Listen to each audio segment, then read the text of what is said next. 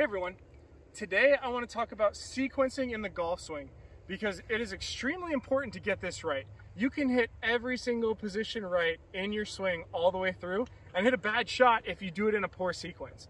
So here's some things to think about as you're sequencing your golf swing.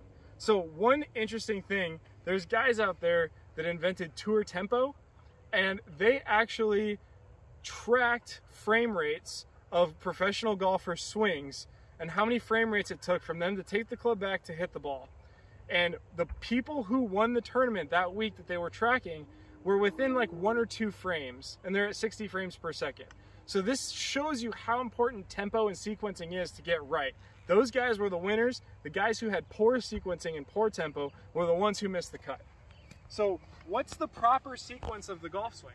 So as I take the club back, I don't really care about back backswing sequence. My goal in the backswing is just to get the club into a position where I feel like I can deliver my right side into the ball. But sequencing on the way down is what's important. So the first thing that I want to feel on the way down is my hands drop, right? Tiger Woods used to say, I want gravity to start my swing. So your hands actually come down and this gets you into the proper shoulder tilt to explode off your right side.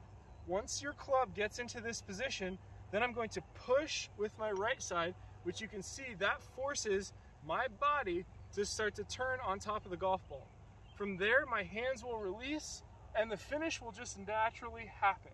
So the full sequence, I'm gonna do this and it's gonna be a little choppy, is once I get to the top of my swing, hands drop, right side push, and come through.